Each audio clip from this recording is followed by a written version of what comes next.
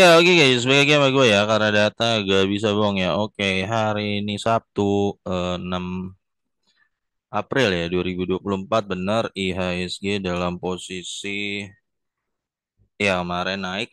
Oke, gue pengen bahas saham games laporan Q4 2023-nya naik ya. Oke, em eh Q4 2023-nya eh, menurun dikit tapi masih worth it ya karena em, kalau lu lihat penjualannya sama kayak tahun lalu. Ya beda jauh lah. Ya nih, nggak beda jauh ya dibandingkan tahun lalu. eh ini 2 miliar dolar pendapatan dia. 2,9 tahun lalu juga segitu ya. Yang bikin dia agak turun karena harga batu baranya nggak segede tahun lalu aja. Jadi selama batu bara stabil begini di harga segini kemungkinan lo dapat dividennya bakal sama-sama gede tuh games. Yang ngedrop tuh MBAP. MBAP gue kurang pasti juga kenapa tapi kemungkinan mungkin cadangan batu bara tidak sebanyak yang lain ya. Sehingga ketika harga batu bara agak ngedrop dia eh, produksinya nggak jor-joran. Mungkin tunggu harga batu bara naik lagi baru dia akan produksi jor-joran pasti saat momentum batu bara naik. Kalau KKGI gue kurang tahu. Eh nanti lo cek aja sendiri ya KKGI sebenarnya gue males ya di tengah batu bara lain bagus itu kalau MBAP mungkin gue paham kalau KKGI itu entah apa ownernya ya nanti lo cari sendiri ya owner kasusnya itu apa. Ya katanya ya katanya dia kan mau pengen bangun di KN justru gua nggak suka dengan perumahan itu apa ya dia punya apa sih proper katanya bangun properti di KN itu ya. Ah nanti ini ini aja kalau KKG lo cari tahu aja tuh kasus ownernya gua nggak mau ngomong ya. Semoga semoga gue jujur ya KKGI nggak ngaruh di dividen nanti semoga ya. Minimal kasih 25 masih ada. Gue udah nggak expect lebih sama KKGI jujur aja. Eh gue pasrahin aja ya. Memang kita harus cek kredibilitas ownernya juga ya. Harus itu. Nah itu kalau KKGI gue lebih ke arah situ mamin ya kalau MBAP mungkin cadangan batu baranya ya. Oke gue sekarang akan bahas games. Gue sebenarnya malas guys MBAP dan KKGI itu gue masih bikin video untuk tambah robo gitu aja jadi gue aja ya jadi gue cuman sedikit nyempil-nyempil gini aja. Ya minimal lu udah tau lah. Tapi masih untung nggak? Masih untung gitu loh. Masih untung MBP dan KKG itu masih untung masih untung ya. Tapi kenapa bisa ngedrop begitu dua-duanya? Itu sudut pandang gua hipotesa gua. Ya. Apalagi kalau KKG kalau udah bawa-bawa properti ya udahlah. Ya. Ya nanti lo, lo Google aja tuh apa pernah di pengadilan pernah kasus apa tuh. Nah, lo Google aja itu juga ketahuan ya oke okay. Saham games ya, Golden Energy Mines ya. Uh, lah dia lembar saham beredar ada 5,8 pemegang saham Golden Energy Resource 62% GMR ya. 30% ini ABMM guys. Anak usahanya ABMM. Dan masyarakat 7,5% ya. Ya 500 juta adalah dipegang masyarakat di bawah dikit ya. Uh, dan ini salah satu yang cadangan batu baranya tergede di Indonesia. Ya, nomor satu PTBA, kedua bumi. Emang bumi itu parah banget. Kita nggak bisa ada regulasi, ya harusnya dibikin regulasi gitu loh. Harus bagi dividen berapa persen gitu loh ya. Duitnya ke mana kan kita nggak tahu. Bumi. Terus games, ya games ini juga termasuk yang gede. Masa di ketiga terbesar di John, si games ini. Ya tiga terbesar. Jadi di tengah harga batu bara ngedrop dia tetap jor-joran aman-aman aja dia. Aman-aman aja. Oke. Okay. um, kita lihat dividen historinya dulu ya. Nah ini nanti ada cerita yang mau gue uh, ini ya. Um, kita lihat dulu sejarahnya dia kan udah keluarnya tanggal Euro PS-nya nih. Tanggal bulan Mei, tanggal berapa gue lupa tadi gue lihat tapi Mei lah. Ya. Nah ini nih ada yang mau gue ceritain. Tunggu gue buka dulu. Um, Oke, okay. ya Allah. Oke, okay, uh, eh, kita lihat dividennya dulu ya.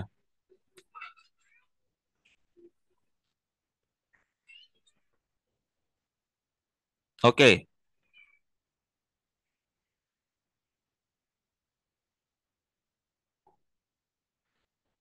Oke, eh, dia dari 2017, 18, 19 bagi ya. 20 nggak bagi.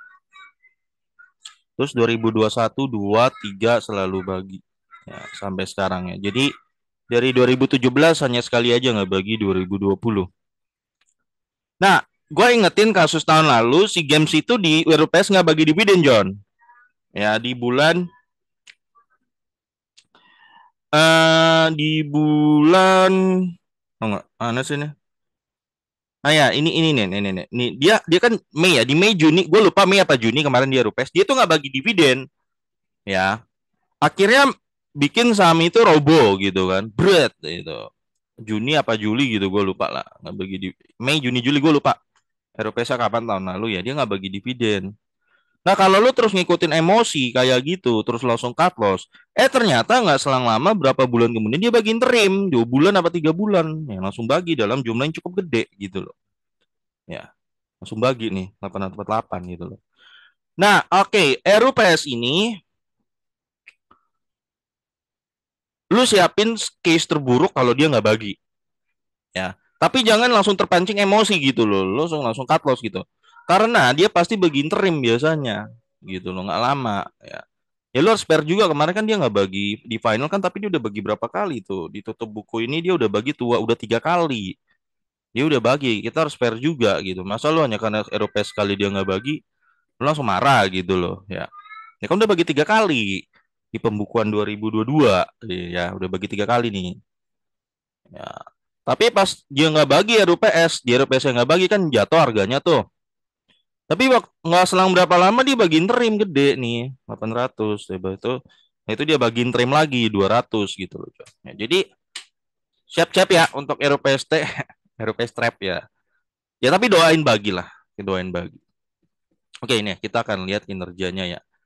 Jadi games uh, dia transaksinya ini kecil ya, John. Jadi ini saham ini nggak begitu liquid ya. Tiganya 387 juta. Itu tadi masyarakatnya juga kecil. Terus nadernya 86 persen ya, kecil lah. Ada pemegang saham ada 6.600 orang di sini. Oke. Okay. Ekuitas 5,3 T, 4,8, 8,6 T, dan sekarang 10 triliun ya. Gede banget, 18 persen. Jumlah saham beredar 5,8 miliar, book value 1700 sekarang harganya di 6000 dan itu PBV 3,4 ya. Oke PBV 3,4 labanya 1,4 T 5,3 T 10,5 T tahun lalu dan sekarang 8 T ya. Jadi menurun 23 persen. Tapi ini menurut gue sangat prestasi ya di tengah harga batu bara yang sudah melandai, dia masih bisa cetak cukup tinggi ini. Ini sebenarnya prestasi kalau menurut gue. 8T IPS ada 1364 tahun lalu 1791 ya. Nah, dividen 184, lalu 806, yield 12 persen, DPR 87 persen. Nah, tahun 2022 dia bagi 1068 bagi 15 persen, yield 60 persen. Nah, tahun ini dia juga udah bagi 60 persen sebenarnya, Jo. Ya. Tutup buku, eh sorry, pembukuan 2023 tuh dia udah bagi 841 total. Eh, Iya bener kan? Ya 841 benar. 61 persen. Dia bukannya bagi dua kali ya? Gue catat di RT. Dia kan bagi dua kali kan? Hmm, gue lihat lagi nih John. Seribu, dia udah bagi seribu John. Udah kebagi. Seribu, sorry ini kan dia udah bagi nih. Seribu 700 oh 1800 tunggu 1083 ya. Oke. Okay. Sorry. Kok udah lebih gede dari tahun lalu? Gak tahu ya kenapa ditulisnya 800 1083 bener bener bener 1083 dia udah bagi ya 1083 ya malah lebih gede dari tahun lalu ya Ngeri juga. Jadi dia bagi 18% nih John, bener kan? Ya bener. Ya 1083 itu udah DPR 80% nih. Ya. Nah, berarti dia sisa 1364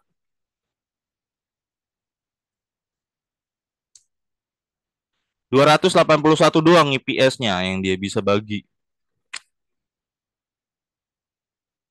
Uh, ya jadi sumpama dia bagi John juga kayaknya nggak eh, nggak bakal gede gitu loh. Ya untuk final ini nggak bakal gede. Ya kalau hoki ya tinggal 281 ya. Oke tinggal 281 ini udah berapa sih? Ini sudah udah gede-gede udah gede banget ya. Oke kalau ngacu data ini 7% ya. 7% berarti kalau final paling jauh juga dia cuma bagi 1083 kali 7%. Ya, coba kita itu. Eh sorry, 1364 kali 10% lah kita genapin. Ya, jadi total 136 finalnya. Ya. Ini juga kalau bagi. Ya. 136. Ya, jadi lo jangan kecewa ya kalau dia cuma bagi ternyata yield 2,2 persen. Ya, mentoknya emang cuma segitu karena dia udah bagi semua di interim di awal gede. Nah, jadi potensi dua John. Dia bagi cuma segitu atau dia nggak bagi. Dia nggak bagi. Ya. Tapi seperti yang tadi gue udah cerita, kalau jangan dia nggak bagi, lo langsung atau bagi kecil langsung roboh gitu loh.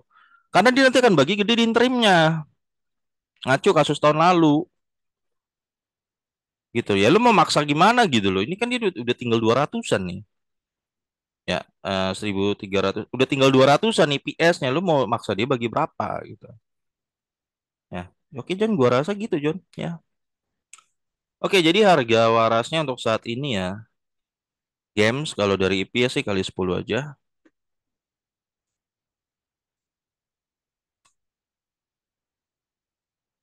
13.640 sebenarnya baru mahal ya. Kalau dari dividen, oke okay lah kita pakai angka 1083 aja ya. 1083 berarti 10.830 sampai 21.690. Eh, 6, eh sorry 660 benar.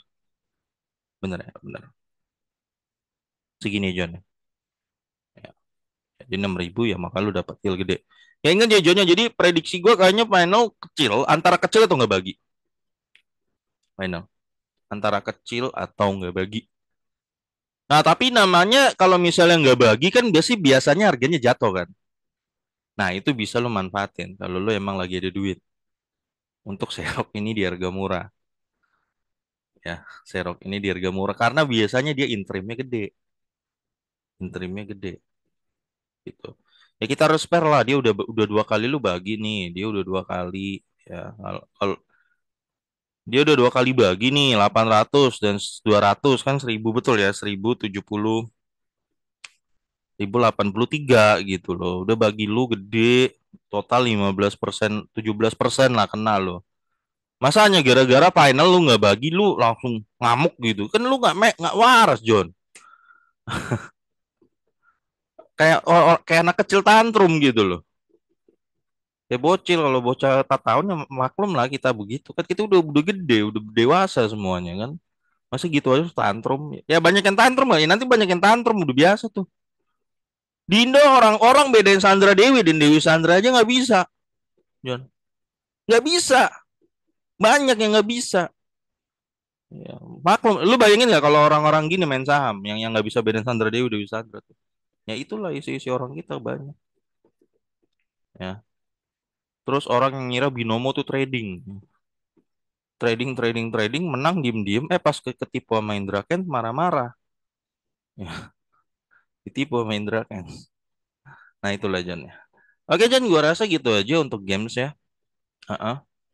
Kinerjanya jadi eh ya gitu John. Oke, sampai ketemu lagi di video gue berikutnya karena data nggak bisa bohong.